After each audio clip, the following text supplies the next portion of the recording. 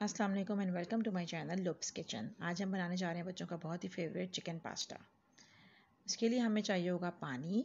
पानी में हम नमक डाल देंगे तीन से चार टेबल स्पून साथ ही हमें तीन से चार टेबल स्पून ऑयल ऐड करना है उसमें। जैसे ही पानी को बॉईल आ जाएगा, उसमें हमने पास्ता ऐड कर देना है। पास्ता 500 ग्राम पास्ता मैंने यहाँ पे लिया है। आप अपनी मर्ज़ी से ले सकते हैं जितना पास्ता आपको चाहिए हो। फिर हमें सॉस बनाने के लिए तीन टमाटर चाहिए होंगे, दो हरी मिर्ची और तीन लहसुन के जवे लिए मैंने, और उसको अच्छे से पेस्ट बना लें। और फिर हमें चिकन चाहिए होगा 500 ग्राम, एक कप कैप्सिकम, एक कप कैरेट, और इसी तरीके से स्पाइसेस में हम लेंगे, हमें सॉल्ट चाहिए होगा और ऑरिगेनो चाहिए होगा half teaspoon two tablespoon soya sauce one tablespoon chilli sauce chilli flakes अगर बच्चे आप स्पाइसी लाइक करते हैं और ब्लैक पेपर भी हाफ़ टी स्पून तक हम जो है वो टू टेबल स्पून ऑयल लेंगे, जिसके अंदर हम कैरेट डाल देंगे। वन कप कैरेट लिया था हमने, उसको हमने चॉप कर लिया था। अब इसको थोड़ा स्टर फ्राई करेंगे, दो से, एक से दो मिनट स्टर फ्राई कर लें। उसके बाद जैसे ही आप देखें थोड़ा सा फ्राई हो गया, आप उसमें कैप्सिकम ऐड कर दें। और कैप्सिकम को ज़्यादा देर पकाने की ज़रूरत नहीं होती है, उसको थोड़ी देर के लिए बस आपने स्टर फ्राई करना है। और जैसे ही आप देखें कि वेजिटेबल आपकी थोड़ी फ्राई हो गई हैं, आप उसको एक सेपरेट प्लेट में निकाल लें।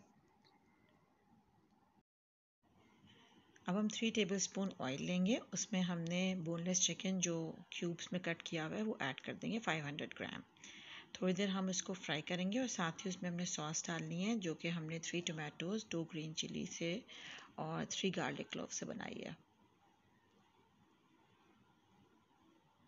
जैसे चिकन थोड़ा फ्राई हो जाएगा, हमने उसमें सॉस ऐड कर देनी है।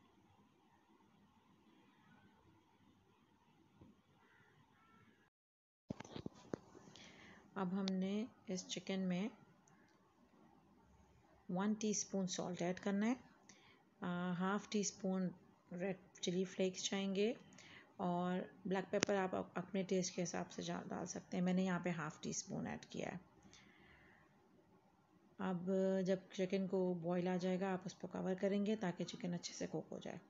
बाद में आपने three two four tablespoon ketchup भी ऐड कर सकते हैं। ये ऑप्शनल है।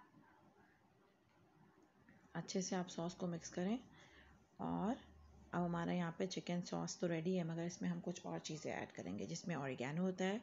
फ्लेवर के लिए हाफ़ टी स्पून डाला है मैंने soya sauce two tablespoon और red chilli sauce one tablespoon add किया है। अब यहाँ पे हमारा चिकन पास्ता का चिकन तो रेडी है। लेकिन अगर आप, अगर बच्चे नहीं लाइक करते वेजिटेबल्स तो आप इसमें बेशक वेजिटेबल्स ऐड ना करें। लेकिन अगर बच्चों को पसंद है वेजिटेबल्स जो कि बहुत हेल्दी होती हैं तो आप इसमें वेजिटेबल्स ऐड कर सकते हैं।